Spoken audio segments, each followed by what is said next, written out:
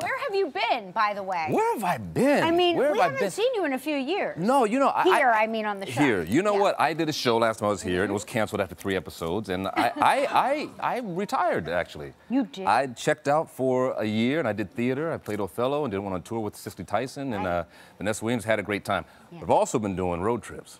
No. Have you done that before? No, but I'm dying to because I know our kids are relatively About the same age, yeah. and Yeah, I feel like I feel like we'd be good in an RV across the country. Yeah, it's good. It's good. You know, I, I, I'm, as you mentioned, I'm doing Quantico right now, and once that job came down, I was Yeah. like, okay, I, I only got three weeks to work with. Yeah. Right. So I only had a small window, so I went off the next day, got an RV, rented like a 28-footer RV. Wow. I didn't That's know what. I was doing.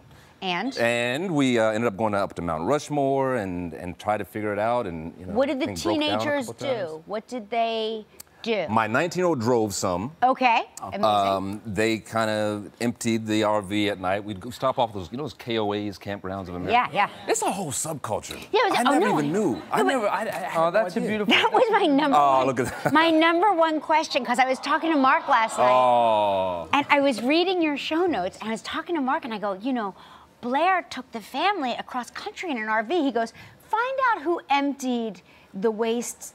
Every night, that would be me. Is that you? That would be me. I That's gave a good puppy. Listen, I gave them instructions and made sure my daughter and you know they tried it. And they're like, Dad, really? So the This teenagers, they, they dug it. They, they. It I, I, all know- I can think of is like vacation with Chevy Chase. You know. No, that's it. That's it.